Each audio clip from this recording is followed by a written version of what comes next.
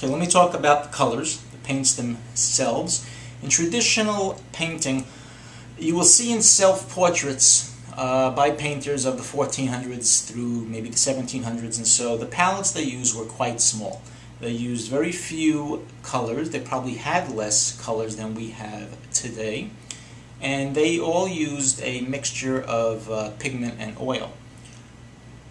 Um, I myself generally make my own uh, paint from pigment and oil.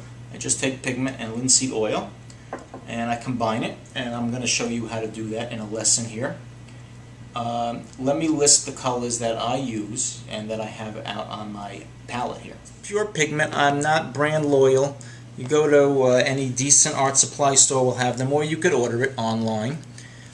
Here is cadmium yellow, here's burnt sienna, and I mix it with linseed oil and that's how I make my paint. And I I have white.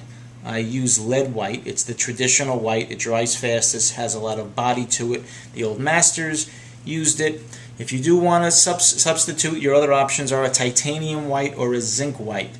Uh, titanium white covers very well, but it dries pretty slowly. Zinc white dries even slower and does not cover well. It's a very juicy white, but it does not cover as well as lead and titanium. This is it. This is the general palette that I use always. I choose these colors so I can mix light and dark variations of all the colors that I need.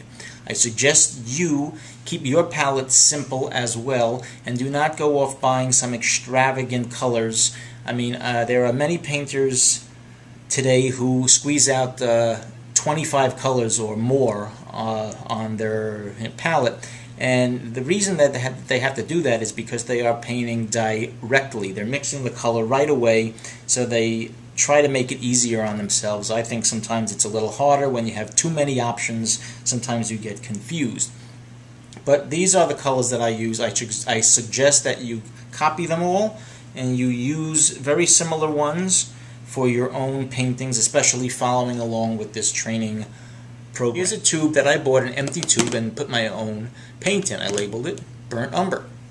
So when I make my own pigments, I put it in a tube just like it looks exactly like the tubes that you see here.